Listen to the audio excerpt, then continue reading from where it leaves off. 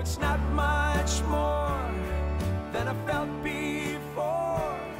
Well, if you missed Jim Cuddy's sold out shows at Peter's Players in Gravenhurst and the Algonquin Theatre in Huntsville, you still have another chance to see him in our area.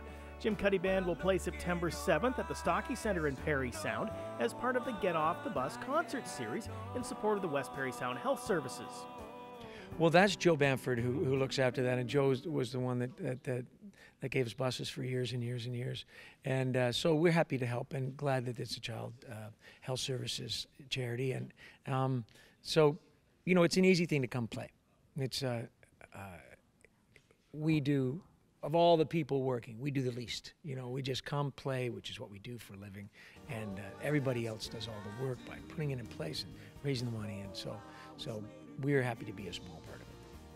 Cuddy will be joined by his sons, Devin Cuddy and Sam Polley. Earlier this year, the boys went on a cross Canada tour with their dad. It's it's fantastic. I mean, I, I've uh, I don't have a lot. We've had a lot of opportunity to play music together because we do charity trips together where we play music for raise money for Olympic athletes.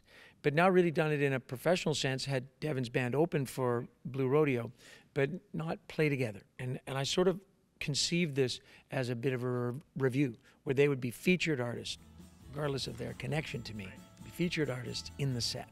And I thought it worked out really well. I mean, it was really fun to play their songs, and I think they got uh, s- attention from the audience that, that was that's difficult to get as an opener. So it's and it's a joy for me. You can imagine. I find it just enlivening to watch them learn and watch them change and watch them entertain an audience. So for me, it's just it's just pure joy. Well, tickets are available for the Stockey Centre show on September 7th by visiting stockeycentre.com.